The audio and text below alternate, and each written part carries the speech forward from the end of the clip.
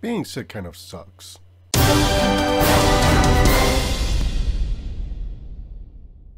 It's the Wilk Report. I'm Michael Wilk, coming to you from Cleveland, Ohio, and yes, I am homesick from work, which uh, really sucks because, uh, you know, it means lost wages and uh, having to go get uh, tested for COVID again uh, because uh, I can't take the chance of taking it to the office. I'm pretty sure it's a cold, but, you know, I don't know, so I gotta go get a Q-tip jammed up my nose again on Friday.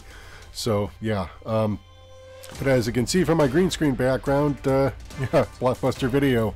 I used to work for that company way back in the day, uh, 1996 to 2001. Uh, in fact, June 96 to about February of 2001. Yeah, so almost five years. Uh, but the reason I'm going ahead and reminiscing about Blockbuster Video is because uh, last week, Sumner Redstone passed away. Yeah, the uh, media mogul, tycoon, uh, former CEO and chair of Viacom, uh, died at the age of 97. And yeah, uh, it's kind of weird because uh, I worked at Blockbuster during the time when Blockbuster was owned by Viacom. And uh, towards the end of my run there, uh, there was there there were all sorts of shenanigans going on, uh, quarrels with Universal, one of its uh, suppliers, uh, to the point where Universal actually pulled its videos from Blockbuster store shelves uh, because Blockbuster kept trying to screw Universal, uh, Universal over on uh, revenue sharing. So. Yeah, and a lot of that does lead back to Sumner Redstone and the way he handled the business. Uh, but let me go ahead and take you to the uh, newspaper, uh, no, news article, I'm sorry, news article from Variety.com because it turns out that his biggest legacy may not actually be Viacom CBS, but his daughter, Shari. So yeah, uh, why Sherry, Shari Redstone is Sumner, uh, Sumner Redstone's most important legacy. In life, Sumner Redstone expended considerable energy to promote his legend as a daring and cutthroat media mogul who amassed one of the world's largest collections of TV and film assets. After his death at the age of 97 on August 11th, it became clear that Redstone's greatest living legacy was never destined to be Paramount Pictures, or MTV, or CBS, or Showtime, or Nickelodeon, or any of the other prizes he claimed in more than a half century of aggressive deal making, or morally va moral vacuum deal making, but you know, hey, uh, at a moment of massive transition for the entertainment industry, Redstone's most significant bequest is to have laid the foundation for their first woman, his daughter, Shari Redstone, to wield power as a true boss and owner in 21st century Hollywood. And oh, the bullshit is laid on thick here because Shari Redstone's machinations, uh, particularly against CBS, are well known, but not necessarily the uh, bed of roses that the media article is making it out to be. Because, uh, you know, as was covered here in, on this very channel and also Midnight's Edge and uh, other channels, you know, Shari Redstone never really signed on to Sumner's decision in the early 2000s to split Viacom and CBS into two, uh, two separate entities because you know, it got to the point where Redstone, I think, decided, you know, look, I'm getting old. I can't manage this big, huge company uh, the way I used to. Uh, plus, you know, I don't want to go ahead and uh, make it so big and unwieldy that, uh, you know, just falls that much harder. So he decided, for better or for worse, to split the company in two. And so you had Viacom, which still maintained ownership of Paramount on the one hand, and then you had CBS on the other, which owned uh, Star Trek the TV show, while Paramount owned the movie rights. And this created problems for Star Trek that persist to this day, uh, even after the remerger. So, uh,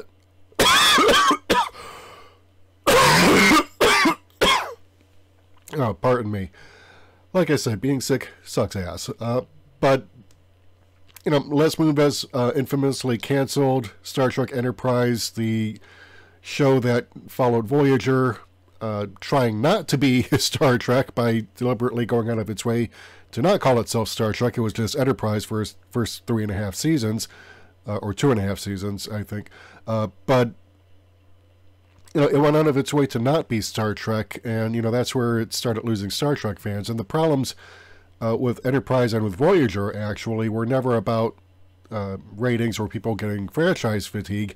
It was actually because uh, the decision was made to put Voyager and Enterprise specifically on UPN network, which only had a fraction of the market uh, spread that uh, syndication would have given it. So, you know, previously shows like Star Trek: The Next Generation and Deep Space Nine, uh, you can find that in pretty much any local market.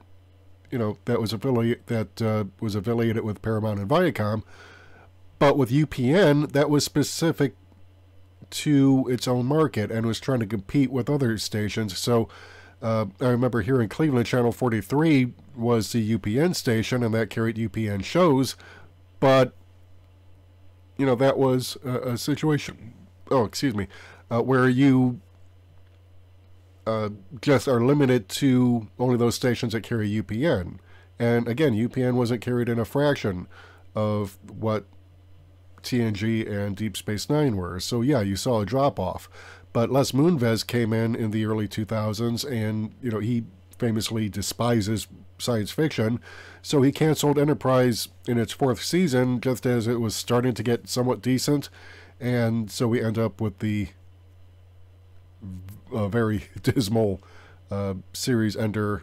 These are the voyages, which uh, was an awful ending to a, a rather mediocre show uh, that, uh, you know, again, for the first two and a half of its four seasons, went out of its way to avoid being Star Trek. Uh, and I suspect a, lot, a large part of that was because of uh, things that were happening that uh, were done to appease the likes of Moonves. So, but yeah, Redstone really kind of screwed things up for Star Trek and for a lot of his other properties when he did that, and we're just now starting to pick up the pieces, but it might be too little too late because Viacom CBS not doing so well, especially during the pandemic. But let's go ahead and uh, take another look at the article. So, perhaps his most remarkable achievement was producing a person even tougher than himself in Shari, says Erik Gordon, professor at University of Michigan's Ross School of Business. So, yeah, here we're seeing, you know, they're trying to puff up Shari Redstone as uh, you know being even tougher and uh, more shrewd as a business person than her father.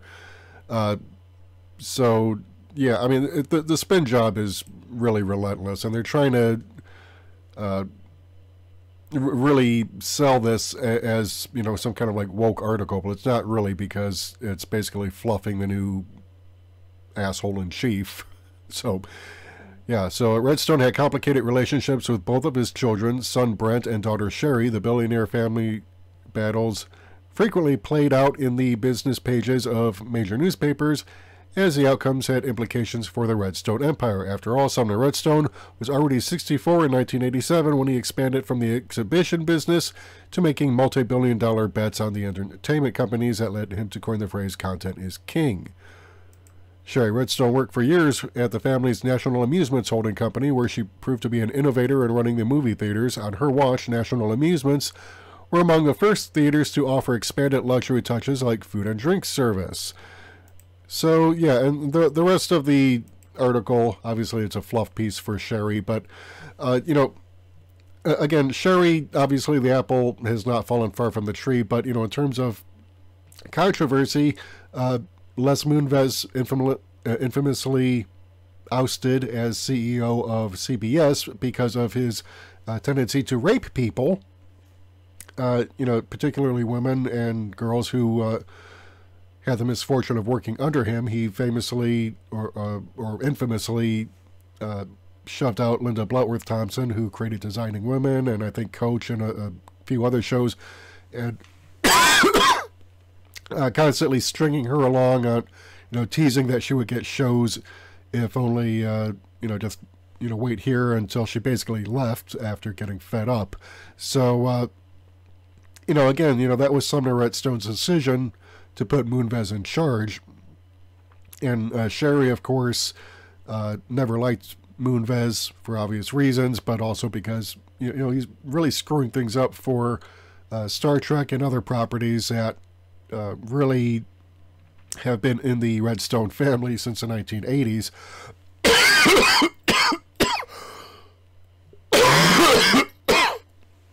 oh, sorry.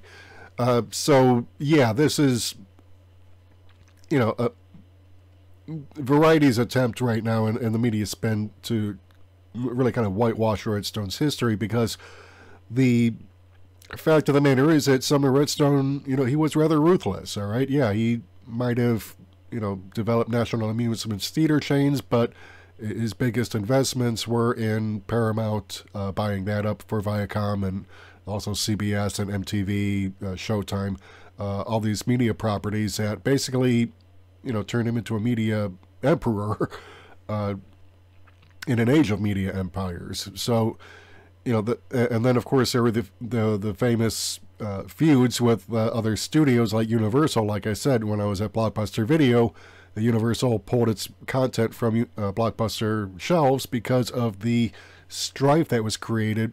You know, largely because of decisions that uh, Blockbuster made under Sumner Redstone's watch. You know, because he was running uh, Viacom at the time, and yeah, Blockbuster had its own CEO, just like uh, CBS and uh, Paramount, and you know they all have their own CEOs and, and, presidents. But you know the fact of the matter is, he was the one in charge, and he could have said, you know, look, we're not going to go ahead and try to uh, take uh, one of our businesses and force it to fail just because we can't get along with one of our rival studios, uh, because it is in the video rental uh, market. You want to maintain as much content as you can, and when you piss off a major studio like Universal to the point where it its content, yeah, you're going to suffer. So, you know, that that is part of the uh, legacy that you don't hear about for Sumner Redstone or Shari for that matter, uh, because, you know, a lot of the uh, tendencies uh, today uh, when an evil person dies is to uh, kind of portray him as this, you know, kind elder statesman or, or not being nearly as bad as he was in real life, and I don't believe in doing that. I, I, believe in criticizing people who deserve criticism, even after they've just died, because you know nothing but the truth should be spoken about someone. So, uh, to me, you know, the the passing of uh, Sumner Redstone, you know, again, is not unexpected. He was 97, so yeah, he hung in there probably a lot longer than he should have. But, uh, but the fact of the matter is, you know, he was kind of a jackass uh, in a lot of respects uh, in terms of the decisions that he made that have affected properties like Star Trek uh, that are still affecting uh, the franchise even today uh, under thief Alex Klutzman, which brings me to my next video uh, regarding Anas Abdin's video game tardigrades and the theft of his intellectual property by CBS and Alex Klutzman, which uh, I'm going to tell you right now, it's going to be a righteous rant because I am rather pissed off both for Anas Abdin and for uh, Star Trek, which and and pissed off at CBS, which basically can now feel at liberty to steal people's intellectual property and suffer no consequences just because it's rich and powerful, and you know no one's going to hold them to account. So, uh, but that's in my next video. I'm going to go down some uh, cold medicine and try and uh, get as well as I can before my COVID test later this week. So take care. If you like what you've heard and you want to hear more, hit the subscribe button and the bell icon and select all to receive notifications whenever we upload new content. Like this video, share it. If you want to help support the channel, keep the lights on, help us bring you more content, head over to our Patreon or our Subscribe Star page. We can't do this without you. Until next time, this is Michael Wilk for The Wilk Report saying take care, good night, I'm out.